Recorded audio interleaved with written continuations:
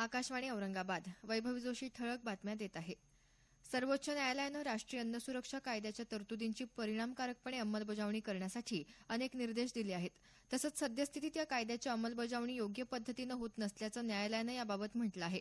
ग्राहक व्यवहार अन्न आणि सार्वजनिक वितरण प्रणाली विभागाच्या सचिवांनी एकतीस ऑगस्टपूर्वी बैठका घेऊन सर्व राज्य आणि केंद्रशासित प्रदेशांमध्ये या कायद्याच्या अंमलबजावणीबाबतच्या परिस्थितीचा आढावा घेण्याचे निर्देशही न्यायालयानं दिले आहेत.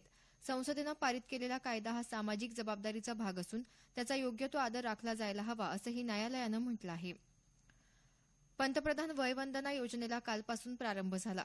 केंद्रीय अर्थमंत्री अरुण जेटली यांनी नवी दिल्लीत या योजनेला प्रारंभ केला. साठ वर्षांपेक्षा अधिक वय असलेल्या नागरिकांसाठी असलेल्या या विशेष निवृत्ती योजनेअंतर्गत ठेवीदारांना वर्षाकाठी आठ टक्के परतावा मिळण्याची हमी आहे. जनभावनेनुसार प्रत्येक कायद्यात बदल सुधारणा होत असतात. त्यामुळे वस्तू आणि सेवा कराच्या अंमलबजावणीत सर्व व्यापाऱ्यांनी योगदान द्यावं असं केंद्रीय गृहराज्यमंत्री हंसराज अहिर यांनी म्हटलं आहे. ते काल औरंगाबाद इथं वस्तू आणि सेवा कर कायद्यासंदर्भात प्रतिक्रिया जाणून घेण्यासाठी आयोजित कार्यक्रमात बोलत होते. गोरक्षकांवर आवर घाला आणि कडक कारवाई करण्याच्या मागणीसाठी आज औरंगाबाद इथं एमआयएमतर्फे मेणबत्ती मोर्चाचं आयोजन करण्यात आलं आहे.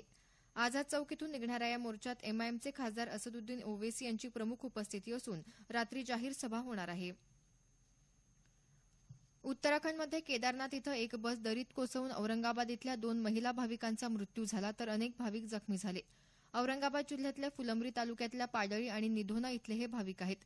बद्रीनाथहून केदारनाथला जाताना कर्णप्रयाग जवळ हा अपघात झाला.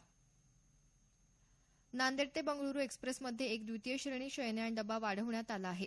हा बदल कायमस्वरूपी असेल असं दक्षिण मध्य रेल्वेच्या नांदेड कार्यालयाकडून सांगण्यात आलं आहे.